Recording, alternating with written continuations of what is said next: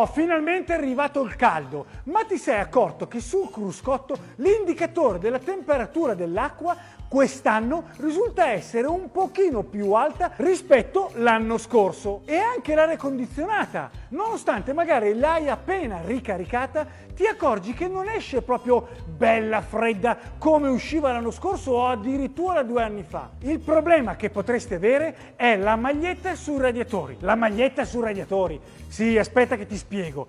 Praticamente, come tu ben sai, noi abbiamo il radiatore, il condensatore dell'aria condizionata davanti, poi c'è il radiatore dell'acqua e in mezzo ai due si forma la polvere, il polline, la terra, lo sporco. Questa nel tempo e negli anni forma una vera e propria maglietta, come puoi vedere qui sullo schermo.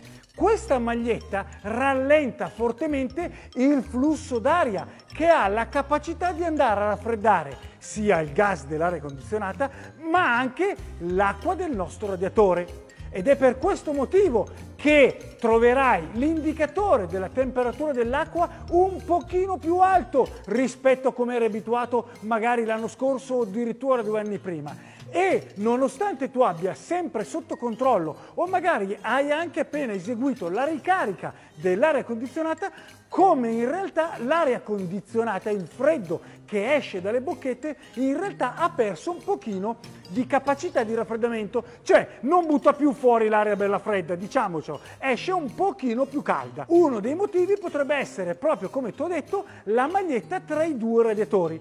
Quindi quando la porterai a fare la manutenzione, fai controllare anche l'eventuale presenza di questo strato di polline che si è sedimentato tra i due radiatori. E ti posso garantire che la temperatura dell'acqua tornerà precisa come quando era nuova. E l'aria condizionata, qualora tutto è ben in ordine e controllato, tornerà a buttare fuori l'aria fredda dalle bocchette. Come sempre è tutto, spero di esserti stato d'aiuto anche con questo nuovo video e perché no, like e condividi come sempre, mi raccomando. Ciao alla prossima da Emanuele Sabatino!